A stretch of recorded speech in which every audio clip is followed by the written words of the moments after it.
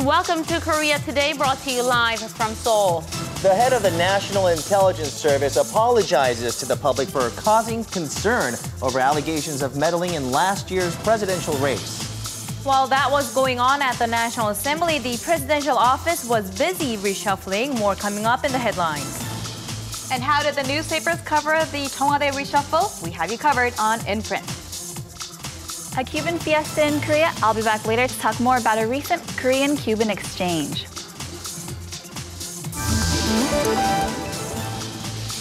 A robot competition that lets children use their creative genes and face off with their handmade robots. We take a look at their creations and the idea behind them. Endless hours in the sun can be fun, but watch out for the risks associated with too much exposure to that heat. We'll tell you how to stay safe in the sun live on this Tuesday, August 6, 2013. From Arirang News, this is Korea Today.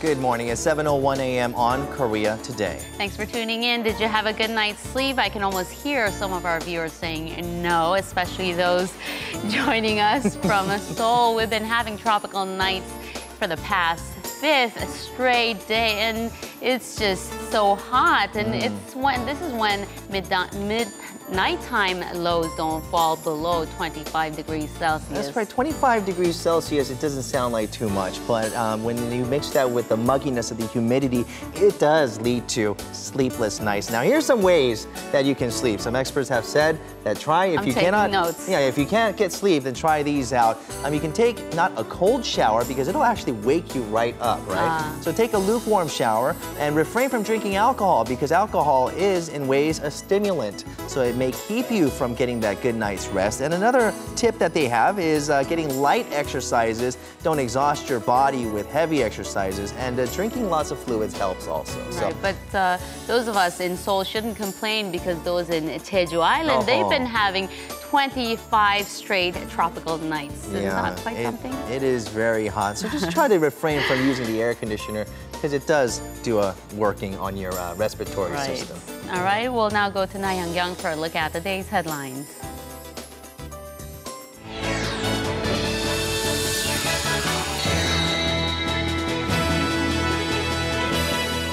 Tug of war continues as the two rival parties battle over a parliamentary probe into the country's spy agency. The main opposition Democratic Party convened an all-member general meeting on Monday, lasting well into the night, but couldn't come to a conclusion on how to deal with the ruling Saenuri Party. The DP party leadership will hold a Supreme Council meeting on Tuesday to continue the discussion. This, of course, comes after Monday's briefing session on National Intelligence Service officials in parliament ended in a deadlock. This case is a political ploy created by the Democratic Party, which paid off its former and current employees of the spy agency in order to win the presidential race. Last year's presidential election was an illegal election. The NIS deliberately meddled in the race. On top of that, it was a corrupt election, which was swayed by the police agency's false announcement on its investigation results. Meanwhile, ruling party chairman Hwang Woo-yea proposed a three-way meeting with President Park, DP chairman Kim Han-gil, and himself to iron out differences regarding the probe. Neither the presidential office nor the DP chairman has responded to his offer yet. A Korean Air-operated Boeing 737 overran the runway while landing in Japan's Niigata Airport Monday evening, according to NHK. Local authorities say all passengers and the crew members got off the plane safely with no injuries. Japan's Yomiuri Shimbun says three officials will be dispatched on site on Tuesday to find out what exactly caused the plane to veer off the runway. This comes a month after Korea's Asiana flight crash landed at San Francisco International Airport killing three and injuring 180 others. Korea's Ministry of Food and Drug Safety says no products recalled by New Zealand's dairy giant Fonterra were imported into the country. This comes after several countries, including China and Russia, put an import ban on the recalled products suspected to cause botulism, a rare foodborne illness which can be fatal. The ministry, however, warned Korean consumers who have already made an online purchase to avoid giving their babies to Karicare lines produced by Fonterra Supply applied company Nutricia as they could be tainted. The presidential office of Cheong Wa Dae chopped and changed a handful of its senior presidential secretaries on Monday as her new chief of staff, President Park, has tapped three-term lawmaker Kim Gi-chun, who has served as the country's prosecutor general and justice minister. Former ambassador to the EU, Park Jun-woo, was named as the president's new senior political affairs secretary. Other replacements were also made, including the senior secretary for civil affairs and for future strategy strategy. Analysts say the moves reflect President Park's will to make her former aides take responsibility for a series of scandals and their inability to resolve pending political issues.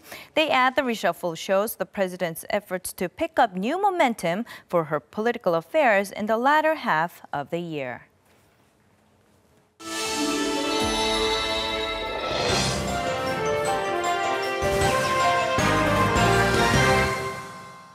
And good morning, everyone. By and large, the top story on the papers this morning is the sizable staff reshuffle at the presidential uh, office of Cheong Wa So we'll go ahead and take a look at the story over at JoongAng Ilbo. Its headline reads, Reform warning Park Geun-hye's second home base. And as you just heard from Hyungyang's headlines, President Park Geun-hye named four new senior secretaries as well as her chief of staff, as it is outlined here in the front page. Uh, Kim Gi-chun, of course, is her new chief of staff. Career diplomat Park Jun-woo was named as her new political affairs senior secretary. Former prosecutor Hong Kyung-sik as her civil affairs senior secretary.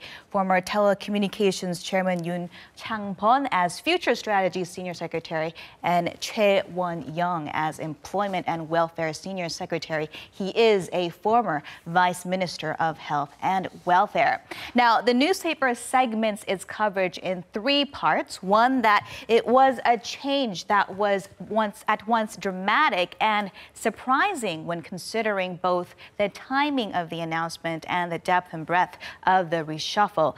Two, it says the change was at once a message that admitted to uh, the failures indirectly of her first round of senior secretaries and also served as a warning message that if the job is not done well, it can be taken away. And finally, uh, Chung says the change was a sign of commitment to see through the president's goals related to the economy and the people's livelihood.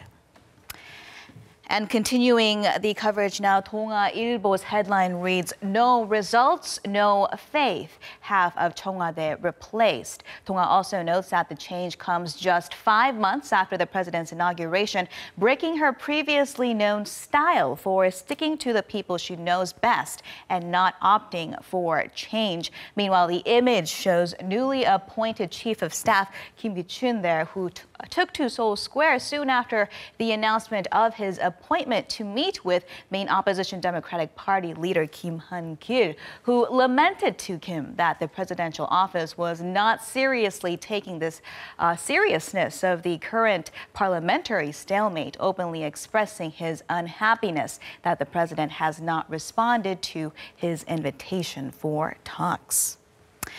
Scooting over to Kyunghyang Shinmun now, it has a slightly different twist or coverage on the day's top story, putting the spotlight on the informal credentials of President's chief of staff pick. Now, the headline reads Kim Gi-chun of Chowon Bokjip scandal named chief of staff. And the subheadlines capture that the former prosecutor general and justice minister is also quite close to President Park as a member of her group of seven advisors, as one who interrogated her her mother's assassin and also one who took part in the impeachment trials of then President Roh Moo-hyun. The article says that Kim also spearheaded the Chowon Bokjip scandal, which was a meeting that involved many prominent high-level officials in both the government and the business world to get then candidate Kim Young-sam into the presidency in the 1992 race. Well, we'll leave that story there for now and take a look at our business newspaper for today. Maeil Business Newspaper's headline reads Mirae Asset to take over U.S.'s coffee bean and tea leaf. And this would be Mirae Asset's second M&A of an American company after acquiring the Titleist golf brand. It has been known that the two parties, that is uh, Coffee Bean and Mirae Asset, have signed an MOU, Memorandum of Understanding, and are likely to finalize the contract sometime this month at the scale of some 445 million US dollars. Sources from the investment bank industry say the company is set to sign the share purchase agreement this month and that the reason why the sum is not bigger is because the vast majority of coffee bean stores here in Korea are not co company run but are franchisees. Hmm. Eunice, now take us back to the biggest story of the day, the surprise appointments. Now, President Park Geun-hye brought back a bundle of surprises from her vacation. Looks like she didn't get much rest there. That's right. It's uh, actually been kind of, I guess, uh, expected somewhat in the past, according to some uh, news sources, that a lot of ch uh, changes can happen when, when a president goes to break.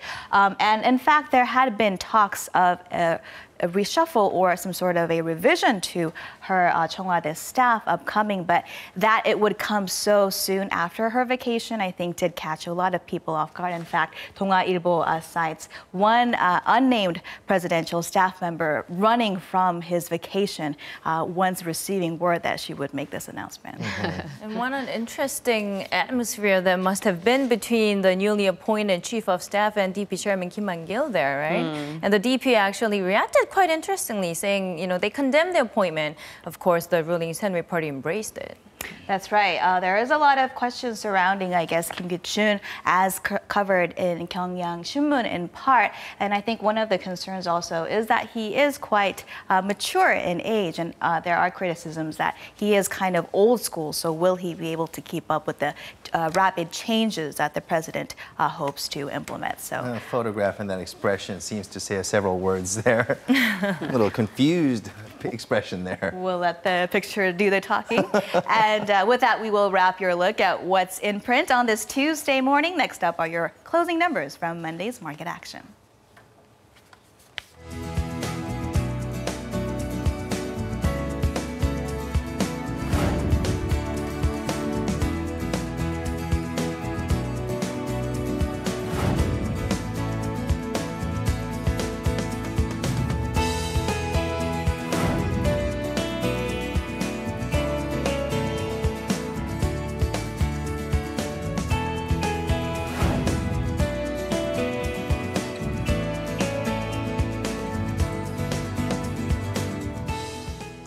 And uh, we are, you're watching Korea Today. We're going to check out the weather and see what today's conditions will bring. Will this humidity um, continue? And uh, will there be rain? We'll find out with Lee Dami, who's joining us from Gwangjin-gu. I'm happy that she decided to come back from that kayak excursion. Good morning, Dami. Good morning, everyone. I am back reporting live from Gwangjin-gu Hall today. And yes, and yes to both of your questions, Young. We will be seeing both humidity and rain today. Uh, I hope everyone had a good night's sleep. I know that the tropical nights are making it a bit difficult. I really wish I had better news for the weather forecast. However, it looks like the heat is going to get worse and worse day by day this week. Now, current temperatures this morning are at about 26 degrees Celsius. Celsius, slightly warmer than yesterday. It is humid. Um, there is a light mist and also partly cloudy skies this morning. Now, throughout the day, we will be seeing signs of what we call squalls, which are uh, sudden signs of gusty winds accompanied with rain. Now, we will be expecting about 30 millimeters of rain per hour along with thunder and lightning, so do be prepared. For me, as a matter of fact, I have been carrying both my umbrella umbrella and parasol just to be extra careful throughout the day. As for the heat waves, they are spreading uh, even wider along the nation. So, with that said, let's go ahead and take a look at the numbers across the peninsula. Seoul's highs will rise to 32, Daegu will leap up to 35. Gangneung's highs will reach 34 as Busan, Gwangju, and Jeju Island will all rise to 33. Now, as for tomorrow's weather forecast, we will be seeing similar conditions to, as today. Uh, the atmosphere is very unstable, so be prepared for anything because, you know, all of a sudden it can rain and then all of a sudden it'll be sunny. That's all I have for the weather. I'll be back in the latter half. Cuba is one of only a handful of countries that South Korea has no diplomatic relations with, but nevertheless, economic exchanges between the two countries stand at 100 million US dollars as of 2012. But Seoul and Havana want to expand their ties to civilian levels. And our reporter Im Yun-hee was at the first ever Korea Cuba festival that was held in central Seoul, right? Good yes. morning. Hola, señor, señorita. oh, wow. yes, I was there at the festival uh, this past weekend. All right. Well, good morning to you, and thank you for joining us. Well, I have a question. Um, it seems that uh, Cuba seems so uh, distant geographically, and you mentioned diplomatically as well. Now, um, is there a large population of Korean immigrants in Cuba? And also, when did they um, first start immigrating there? You know, actually, um, one of the interviewees that I met mentioned that he is part of a community in Cuba that immigrated there in 1905. Um, about 1,000 immigrants went to Mexico first, and then they went, 300 of them went further on to Cuba, and that community is still intact today. Hmm, so did any of those Korean Cubans make it to the festival that you went to? Yeah, the interview that I met, he was, his grandfather's actually Korean, and so we actually share the last, uh, same last name and thought uh -huh. that might be related somewhere down the line. yeah, but um, the event was a pretty large event. They had a pretty good turnout. Um, the Ministry of Foreign Affairs and the Korean Foundation uh, supported the event along with the Jose Marti Cultural Society on the Cuban uh, behalf. So the, in, the event turned out to be a cultural exchange between Korea and Cuba um, with a series of dance and music, which is really popular in Cuba. So let's mm. take a look. Cuba, a land of music and cigars, with a historically eventful past. The island country in the Caribbean has been occupied by various different regimes, creating the melting pot of cultures it is today. Well, when I think of Cuba, Hemingway comes to mind. I only know about Che Guevara from Cuba. Currently, there are no official diplomatic relations between Cuba and Korea, but the Festival de la Cultura y las Artes de Cuba translated into the Cuba Culture and Arts Festival, has been made in order to create a window between the two countries. The purpose of this uh, festival is to bring a, a, small part of the Cuban culture to the Korean public. So uh, we want to uh, develop the interchange, the cultural interchange among our two countries.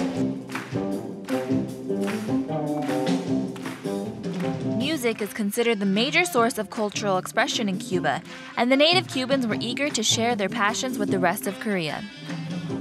Cuban music derives itself from a fusion of African, Spanish, and Chinese music, creating a unique sound that became popular worldwide during the 19th century. Cuban music is popular because it's a fusion of romantic poetry with contemporary and traditional rhythms.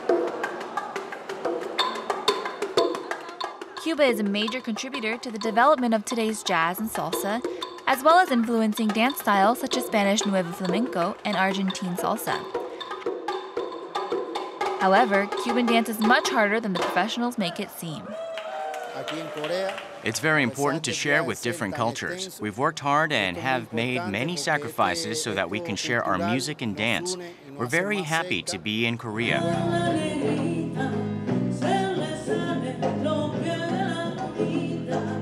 Few of Cuba's top performers made an appearance, bringing a little piece of Cuba to Korea.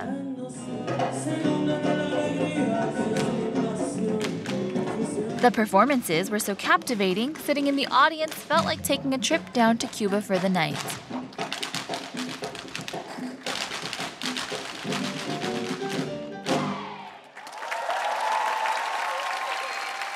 Huh. So how is the festival doing? How many people were there so far? Well, it's not over yet. Um, they did sell out on tickets multiple nights in a row, so over a couple thousand people so far. So huh, wow. I think pretty successful mm. so far. Now that this Cuba Korea festival has been established, I would imagine they have more uh, future plans for cultural exchanges. You know, it did receive a lot of support this year, and they are planning on continuing the event regularly. Uh, the Jose Marti uh, Cultural Society, on the Cuba behalf, they were really excited about this event, um, and they want they told me that they plan to continue um, to bring the event to Korea year after year, so make it a regular occasion. Mm. Okay, speaking of uh, Cuba, I can't uh, leave out the Cuban drink Coke, rum, and lime, which equals Cuba Libre. Now, that's a part of that's Cuban, right?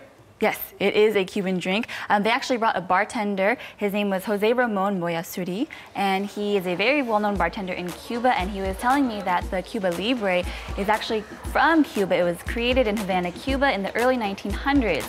Um, but they also had a few other drinks uh, in. But that drink event. is a yes. mojito, right? Yes, that is the mojito. That's one of the most popular drinks in Cuba, and it was definitely popular that night. Hmm. They look really good. They look good. Telegrama. oh, you guys know a lot that one I drinks. want to try. Guajira, it says too. It's like oh. we're revealing our true selves right yeah. All right, so there you go. No, you did not. Just there. drink while you were reporting on field. there was some Drinking on the job, huh? It was, well, I, I couldn't refuse. He offered it to me. yes, yeah, so it was, it was, a good event, and definitely the drinks did um, help bring out a lot of lively spirits to everybody. Mm. All right, sounds good, good Yuni. Thank you very much for that. And I guess if we do have time, we can check out some cultural activities with the Cuban Festival going on. Thanks again. Thank you for having me today.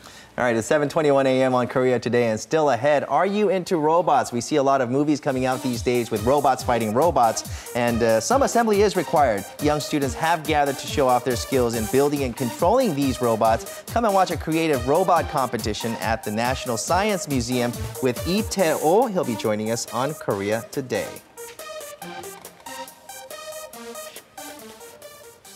And in Korean traditional homes and hanoks, there is something called a sarangchae, which can be roughly translated into a guest house. It's usually a separate building outside of the hanok. And uh, the presidential office of Cheong Wa Dae also has a sarangchae, which has gone through a renovation to greet tourists and guests and visitors alike That's and right. show them a bit of what being a president and what being in the presidential office is all about. Mm -hmm. It's called the Happiness Hall, and this is where you go to find out more about key government policies and initiatives. And you can even meet the president, and you'll know why I air quoted meet in this report. Take a look.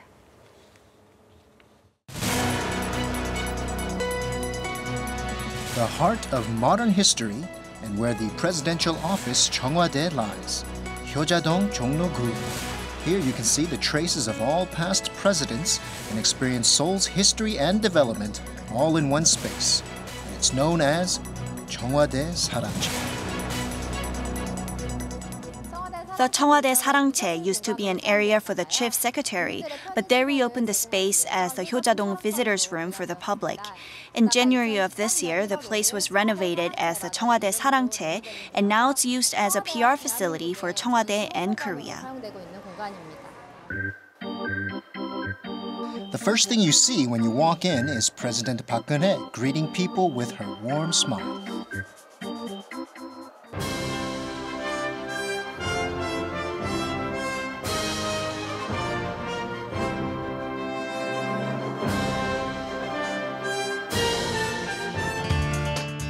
This interactive experience hall is called the Happiness Hall and recently underwent renovations which concluded last month. It allows the public to witness firsthand the current administration's vision for creating a happier society for its citizens. Once you step into this hall, there is a culture ocean. Here, many culture fish gather around the visitors, and once a certain number is reached, the message cultural prosperity, happiness, and hope appears. Has been well received by many for using digital technology to help people better understand key government policies in an easy way. And to one side of the wall is this bright area called the QR Lounge. If you scan a QR code with your smartphone, it plays various scenes from Korea's past and present on your phone. This Hope Pillar also allows you to take home with you messages of hope for the future. Not only that, on the other side, visitors can use a Smart Touch table to take a glance at the concept of a creative economy, as well as leading cultural contents, including photos and videos from Korea.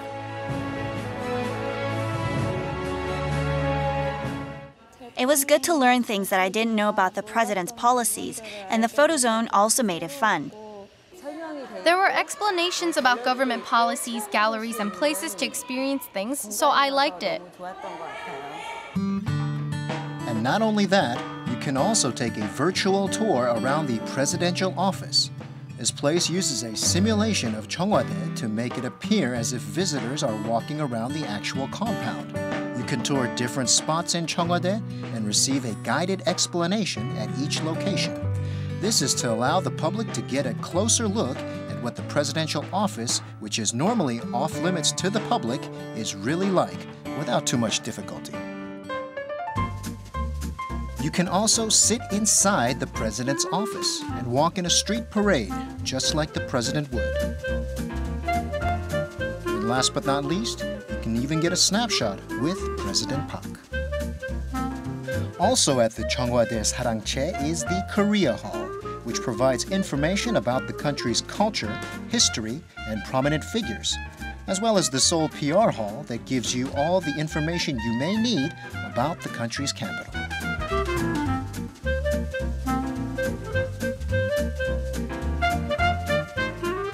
Wouldn't mind taking a picture with the president myself. not at all. Whether it's CG or not, right? Mm. um, a lot when it comes to government policies, even if you study up on it and read up on it, sometimes this could be a bit difficult to understand. So this kind of creates a user-friendly atmosphere. Who knows? Yeah. Maybe inspiration will find some young visitor, and we can see the a, a future leader of right. Korea. One trip to you know one trip to that uh, hall will help you understand everything there is to know about Cheong Wa Dae, right? And it's not it's not uh, inconvenient to get to at all. It's right off from Gyeongbokgung Station on Line 3, and you can just walk from there. Mm -hmm. And the introduction of Cheongwade Sarangche will be uh, provided is provide being provided in four different languages. Korean, English, Japanese, and Chinese. So it's open to all. All right, now you have no excuses. You have to take a visit there, no matter what language you speak.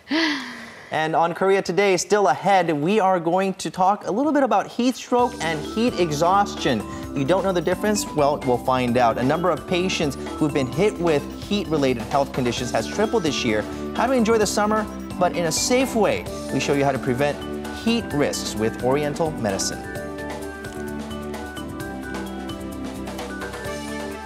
Children often have the wildest imagination, and the National Science Museum put to the test how imaginative and creative these children can get, especially when it comes to making robots.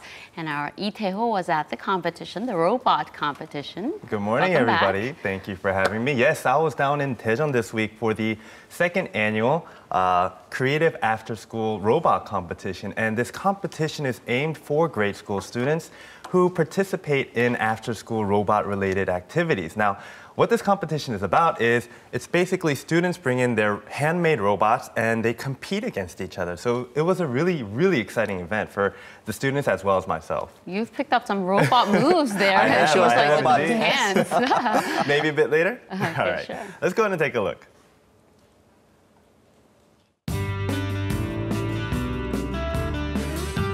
Today I'm here at the National Science Museum in the mecca of all things science, Daejeon. Today, students from all over the country are here to compete in a very special event. Let's go ahead and take a look. The Creative After School Robot Competition 2013 was held for three days starting August 2nd for the preliminaries, where a total of 480 teams took part. What's special about this competition is that elementary students using what they learned in their after-school programs joined in.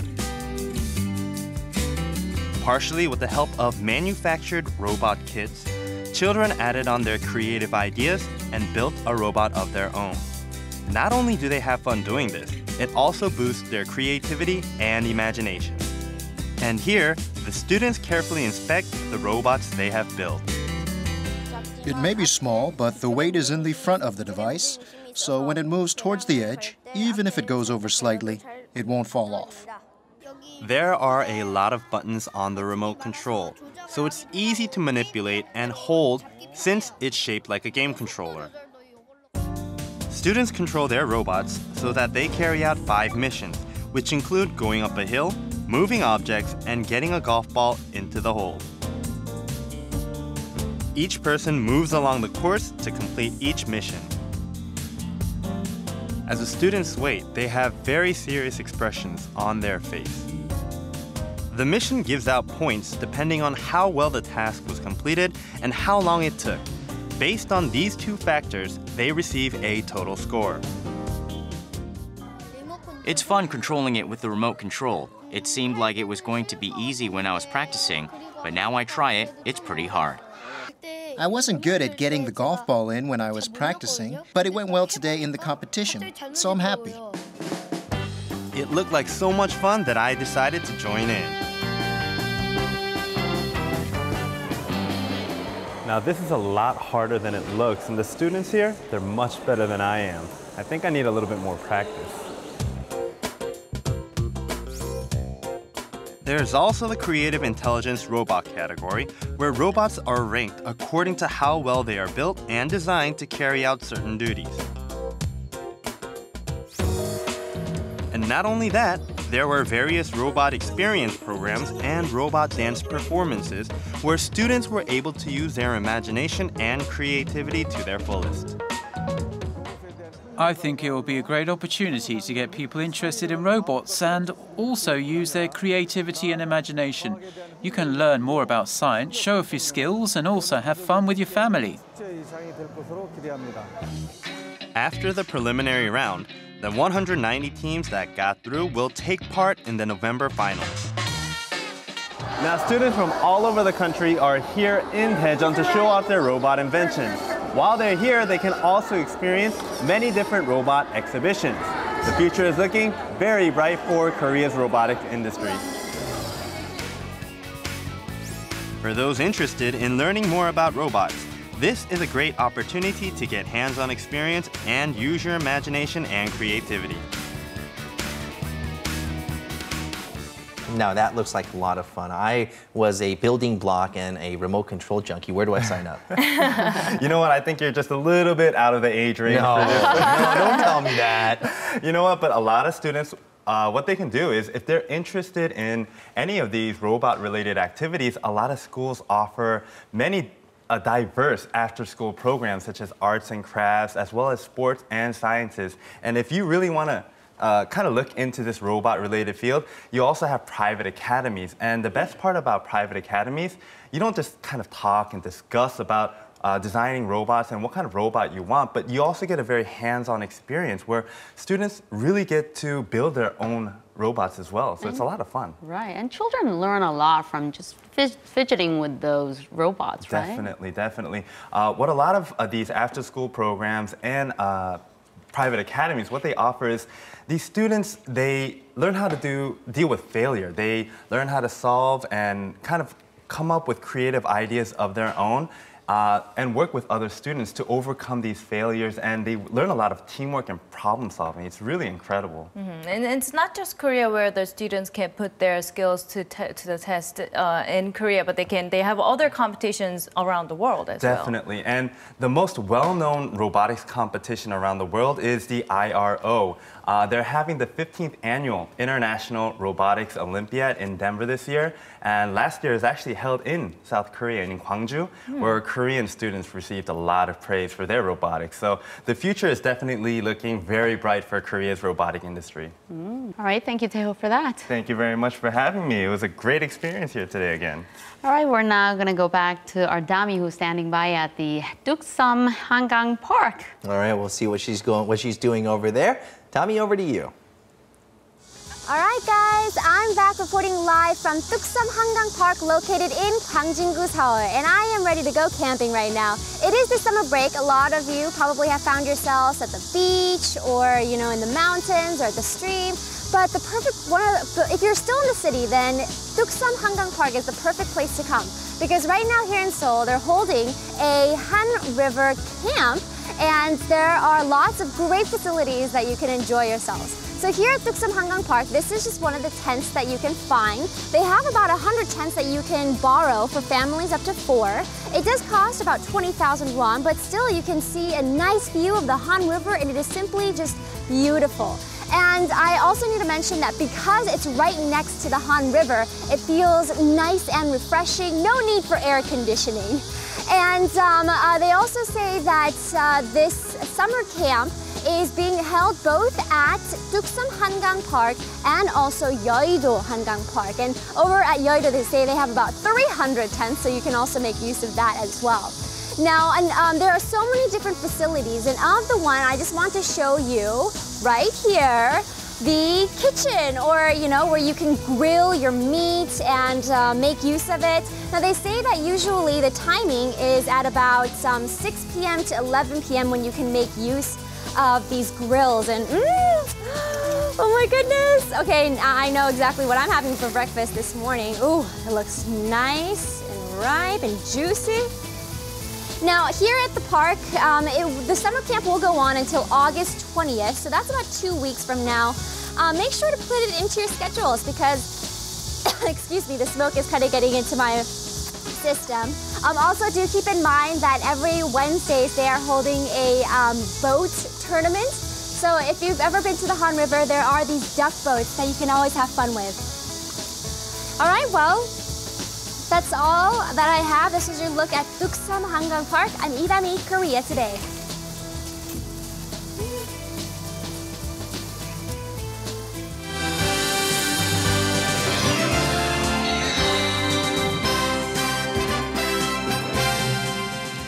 And good Tuesday morning to you all, and probably a great Tuesday morning for the South Korean national basketball team who went up against Bahrain in the round of 12 matchup. Of course, Korea looking to qualify for the World Basketball Championships for the first time in 16 years. Really need to get all the wins they can. Of course, with the, uh, the Asian Basketball Championships taking place in Manila, South Korea goes absolutely insane on the offense, with Cho Sung-min and Kim Sun-hyung putting up 14 points each as South Korea takes this game 96 to 51. Of course, with Korea taking on Kazakhstan later tonight and India on Wednesday, getting those wins will secure a spot in the round of eight. And speaking of the South Korean national team, the South Korean football team, well, is still without a win under the helm of the newly appointed manager Hong Myung-bo. Of course, a lot of things to do uh, being done before the World Cup in Brazil, but for now, his focus is on the roster for the upcoming warm-up match against Peru. When manager Hong set to uh, announce the roster for the upcoming warm-up match against Peru, the big question is whether or not he'll bring in Park Ju-young. The South Korean striker's status still uncertain over in Europe, hasn't been able to get in any playing time, which puts manager Hong Myung-bo in a tough spot. However, with the manager hoping to bring in just two European players, Park might be the available option. Of course, no baseball here in the nation on Monday. So with the new week of KBO kicking off later tonight, let's take a look at the standings so far this season. Now, taking a look at the standings right now, uh, first off, the Samsung Lions holding on to their first place spot as they take a three-game lead over the second place LG Twins. Nexon continues to struggle, but they're still in third place with the red-hot Doosan Bears, just trailing Samsung by six games so far. And now moving on to the bottom half of the league, the Lotte Giants in sixth place, but three games behind the Doosan Bears with the Kia Tigers falling fast. Already 11 games behind the leaders. Meanwhile, SK, NC, and Hanwha stay the same at the bottom of the league. And staying in the KBO with the new week of baseball kicking off later tonight, as I mentioned earlier, let's take a look at some key matchups taking place this week. Now, it's going to be a big week of baseball for the fourth place Doosan Bears as they kick off the two-game series against the third place Nexon Heroes at home in Jamsil. Now, the two games can switch around the standings if the Doosan Bears can sweep the series. And another big series for the Doosan Bears over the weekend as they're set to face off against the second place LG Twins as well. The two teams close in the standings, it's much more than a sole rivalry. Well, it's no surprise that some of the KBO players have been getting a ton of interest from the Major League scouts and Well, if you've been watching the Samsung Lions games, there's a good chance that there were many scouts on hand. With the Samsung Lions closer Oh Seung-hwan in his last year of his contract, many scouts from Japan and the U.S. have been watching him carefully throughout the season.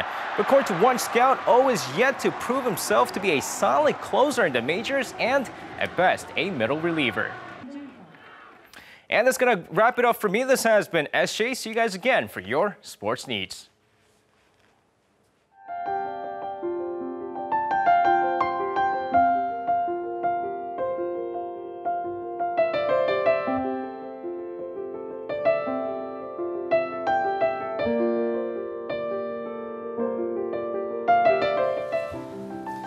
Now, some areas in Korea, especially in the south, are reaching daytime temperatures of up to about 36 degrees Celsius. And in hot weather like this, you need to be careful if you find yourself getting symptoms of dizziness or even headaches. Mm, in Korean, we say 더위 먹은 것 같다, which literally can be translated as I've I eaten. ate the heat. right, the heat. And to make sense of that phrase, we're joined by Dr. Park Joo-hong from the Gyeonggi Seoul Medicine Hospital of Oriental Medicine. Good morning, Good Doctor. morning. Thank you for having me. Uh, just as you, just Minjung said, we well, in Oriental medicine, we said it, we say it junior. Junior. Mm -hmm. take a hit. Mm -hmm. And uh, do any of you know the difference between heat exhaustion and heat stroke? I think we commonly think of heat strokes, uh, but uh, not really about uh, mm. heat exhaustion.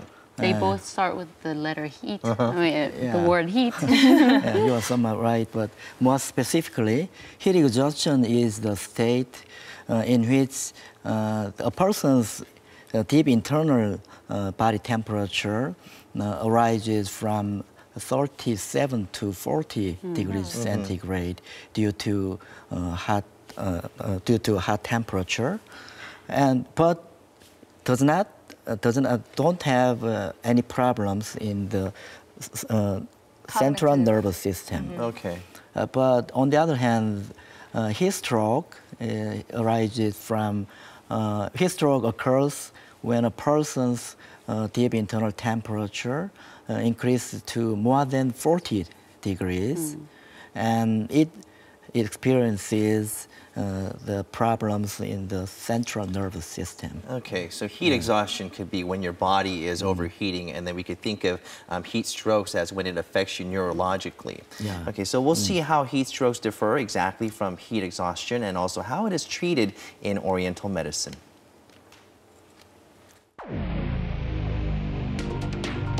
With extremely hot temperatures across the country, more people are suffering from abnormal health conditions. According to the government, the number of patients who suffered from heat strokes in the months of June and July was at 341, more than three times that of last year.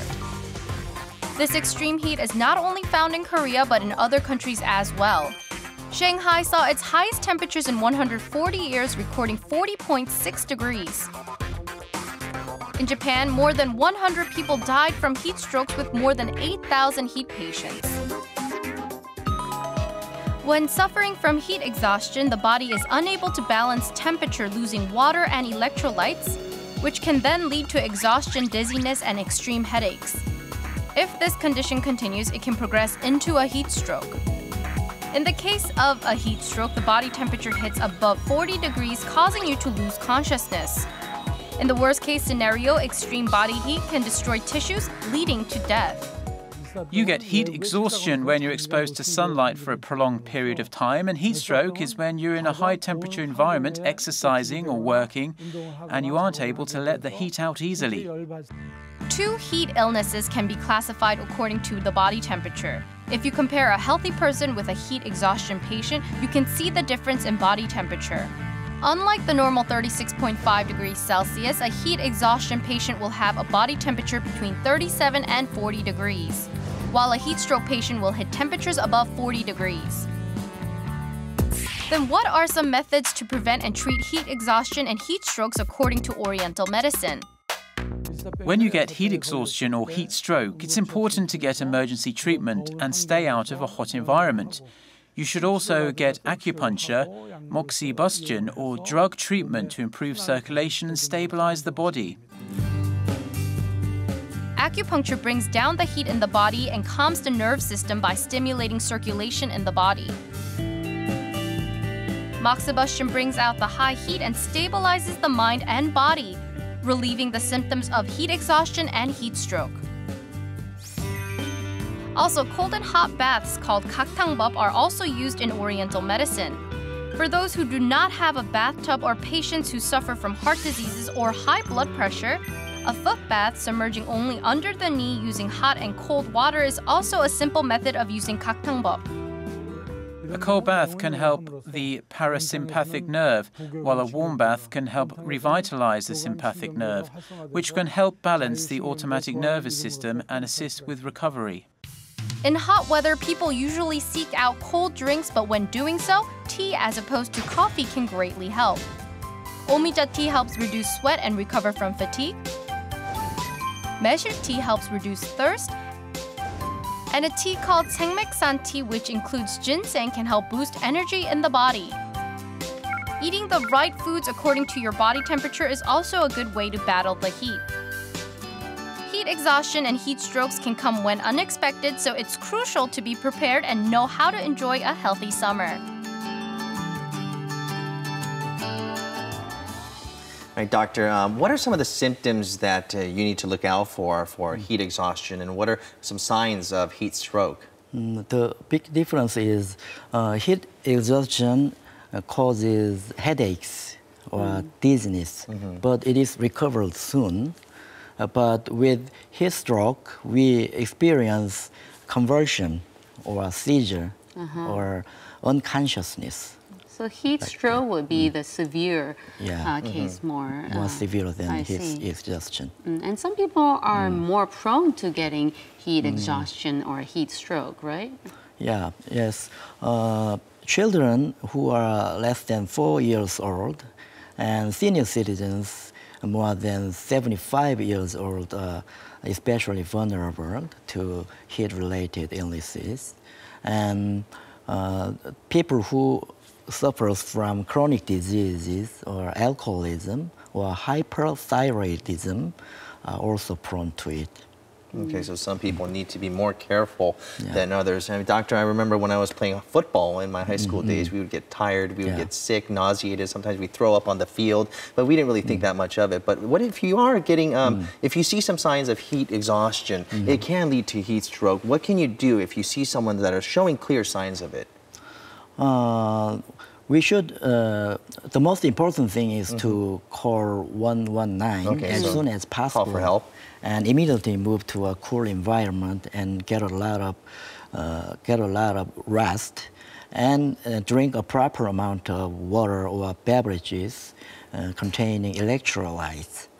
And in Oriental medicine, we have uh, two main mm, emergency acupressure points Okay. called Yepung Mhm. and Hapgok. Okay. Yeah, Yepung is behind the, the ear, Okay. and Hapgok is between the thumb and the first finger. Okay. And we can press strongly and uh, before the ambulance uh, arrives. Okay. Yeah. This is helpful because it will quickly increase the circulation of energy and blood in the body. So it is very helpful. So, are there any heat-related uh, diseases that we have to look out for apart from heat exhaustion and heat stroke? Yeah, uh, there is one other heat-related illness called heat cramps. Huh. Uh, Heat, cramp, heat cramps. Heat cramps is a muscular spasm caused by a loss of water and salt um, uh, uh, following prolonged exercise such as sports, for example, marathon or football, or other uh, high endurance activities in hot weather. So therefore, we should be always very careful when we exercise in hot weather. Mm. Many people spend hours in under the sun these days. Is there a way to prevent getting a heat stroke or Mm. heat exhaustion? Yes, uh, well, in hot and summer, in hot and humid summers, uh, we should only take part in strenuous activities uh, in the early morning and late evening, and we should uh, we should wear uh, proper clothing, which is loose and breathable, Mm. in order to uh, allow the body to keep cool. Mhm. And keep drinking cold beverages. Does it help? I see you brought some of the teas that we saw in the video here. So, do my question is, uh, do sports drinks help? It's my I, I've always burning wondered. question that I Yeah. had. Do, do they, are they really good for Uh, you? Yeah, sports drinks are a little helpful because it contains electrolytes. Mhm. Uh, but the uh, iced coffee or ice cream or beverage, ice beverage, Not is really not so helpful. helpful Mhm. because it uh, it causes the it increases the uh, frequency of urination. Uh-huh. So Okay. it It can lead to dehydration. yeah, it ultimately lead to the So caffeinated dehydration. drinks, right? Yeah. Okay, so you brought a set of three teas over Is that there. for us?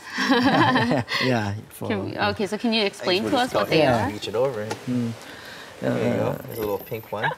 Okay. All right. Yeah, the camera had a I'm, shot on that, and then you just took it away. All right, well. Tell us, please, what this is. It is omija, mm. omija tea, and there is uh, sengmeksan and meshil. Uh -huh. uh, it is more helpful uh, to drink uh, drink healthy types of tea, which do not cause dehydration, such as 생맥산, omija, meshel. This is quite Yeah. good. You want to? Do you want to Oh, try mine? I'll trade it's you. quite good. I'm not happy with mine. It was only good for indigestion, but I, Yeah. I have it newly back. I like learning. Yeah, it also helpful Newly for learning that it's also digestion. good for heat stroke and heat exhaustion. Wow, this is, Yeah. and I'll you said trade this you. is omija. What is Omija. going on today in the This studio? is good. This is good. It, Omija ma- is it good. makes good bodily fluids. I see. And That was a little too quench bland, I thirst. think. Mm. All right. Well, um, these teas, these natural teas will definitely Yeah. help. And one, Yeah. one of the most important things is just stay out of the sun. If it's too hot, just refrain from doing too much physical activity. Yeah. All right, Dr. Park, thank you so much for Thank you joining so us today. Thank you again. All right, that brings us to the end of this edition of Korea Today. Today is a beautiful, bright and sunny Tuesday morning, but uh, try to stay out of the sun. Mhm. Don't uh, play in the sun for Not too long. Not too much physical activity, but uh, we'll be enjoying this tea and we'll see you back here tomorrow at 7 a.m. Thank you for watching. See you tomorrow. Bye bye.